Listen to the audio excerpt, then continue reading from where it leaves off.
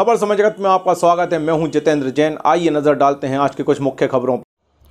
भोपाल। भोपाल के हबीबगंज थाने में कांग्रेस कार्यकर्ताओं ने थाना प्रभारी को ज्ञापन सौंपा। ज्ञापन में नगर निगम के कर्मचारियों पर आरोप लगाया गया कि नगर निगम के कर्मचारी फर्जी पर्ची बनाकर नगर निगम के स्टोर रूम में जब्त गुमटियों को अवैधानिक तरीके से बेच रहे हैं। पार्षद ने बताया कि उनके वार्ड के निवासी सचिन रजक की गुमटी नगर निगम द्वारा आवंटित है। विस्थापन के चलते अन्य स्थान पर शिफ्ट की थी। लेकिन कुछ समय पश्चात नगर निगम ने विस्थापित स्थान से गुमटी को जब्त कर स्टोर रूम में रख लिया था। फरियादी सचिन रजक लगातार नगर निगम से गुमटी को पुनः स्थापित करने की गुहार लगातार रहा लेकिन नगर निगम के अधिकारियों ने उसकी बात को अनसुना कर दिया।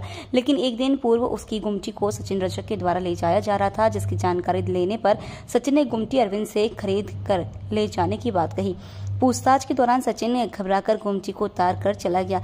इस पूरे मामले में कांग्रेस ने नगर निगम के कर्मचारियों पर फर्जी पर्ची बनाकर गुमटियों को बेचने का आरोप लगाया और दोषी अधिकारियों के खिलाफ कार्रवाई के लिए आवेदन दिया है। मामला अभी जस्ट मैं यहाँ आया हूँ। एक ज्ञापन इनके द्वारा दिया गया है कि नगर निगम के द्वारा कुछ गुमटियाँ जो हैं वो गलत तरीके से कुछ जाँच करने की बात उन्होंने बोली है कि गलत तरीके से नगर निगम गुमटियाँ जो हैं किसी अन्य के दे दी गई हैं तो इस संबंध में ज्ञापन इनके द्वारा दिया गया है और ज्ञापन में उसमें जो हमारे तरफ़ से पुलिस की तरफ़ से जाँच होती है जाँच करेंगे बात करी तो उस व्यक्ति वो बुला के